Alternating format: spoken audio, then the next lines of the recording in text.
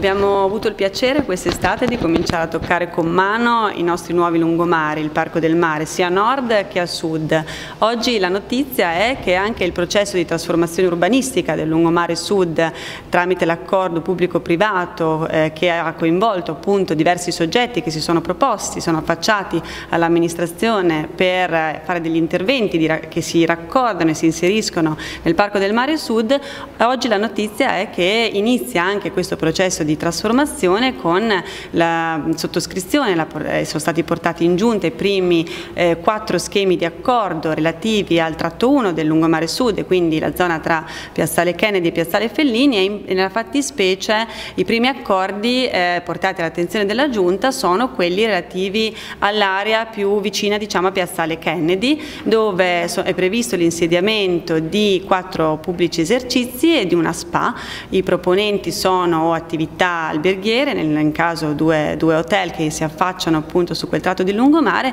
o altri soggetti privati che si propongono di fare pubblici esercizi. Sì, assolutamente. Nel complesso al momento sono circa una decina che coinvolgono sia il tratto 1, quello che vi ho appena detto, quindi Fellini Kennedy, sia Miramare e Lungomare Spadazzi. Sul Lungomare Spadazzi sono in corso di definizione due accordi con eh, strutture ricettive alberghiere, mentre sul tratto 1 il, um, ci sono altri sempre accordi relativi a pubblici esercizi ed altre attività che si, che si insediano. Al momento gli uffici dell'amministrazione comunale stanno stringendo le ultime verifiche verifiche anche di raccordo con l'opera pubblica che completa eh, il parco sia appunto nel, sul lungomare Spadasti che sul tratto 1 e a breve saranno portati all'attenzione della Giunta anche questi accordi che vi ho appena citato.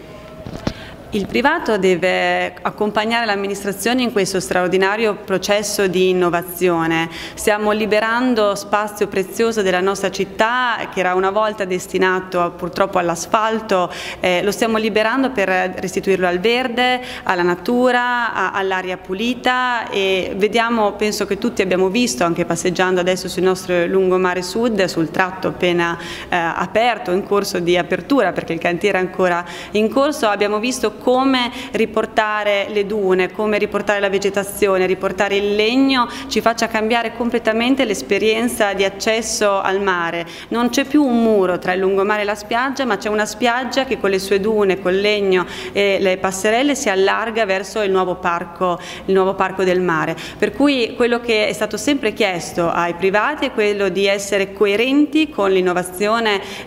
turistica e l'innovazione degli spazi all'insegna della sostenibilità, all'insegna delle linee guida architettoniche che anche abbiamo voluto, sapete che c'è tutta una progettazione guidata dallo ehm, studio Mirale Stagliabue, eh, uno studio italo-spagnolo molto importante che ha sotto di sé anche un raggruppamento di imprese che si è cimentato nel dare le coordinate progettuali architettoniche di questo processo di trasformazione. Quindi ai privati è stato chiesto questo, di far parte di questa sfida eh, facendo proprie le innovazioni, le linee guida architettoniche e eh, come dire, tutto all'insegna anche di una grande attenzione alla sostenibilità e alla qualità degli spazi che andiamo a ridisegnare.